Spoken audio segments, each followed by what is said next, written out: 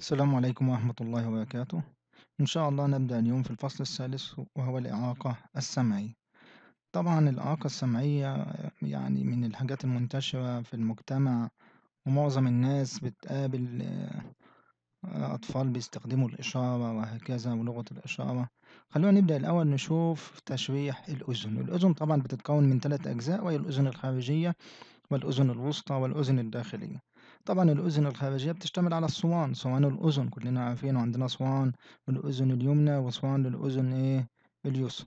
طيب والقناة السمعية الخارجية يعني في الصوان بيجمّع الأصوات، صوان الأذن ده وظيفته تجميع الأصوات بيوصّلها لإيه للقناة السمعية الخارجية. توصل بعد كده للأذن الوسطى، الأذن الوسطى بقى تشتمل على الطبلة والعظيمات الثلاث. جميل؟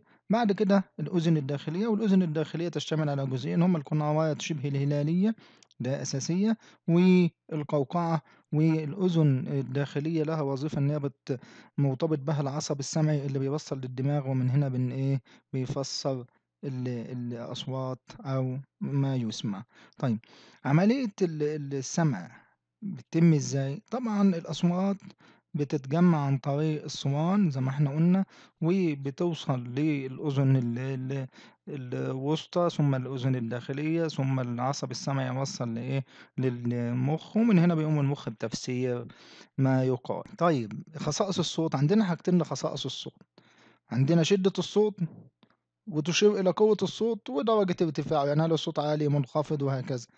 الحاجة التانية وهي النغمة وتشير إلى إيه التردد أو تردد الصوت والموجات اللي بيحدثها إيه مصدر الصوت.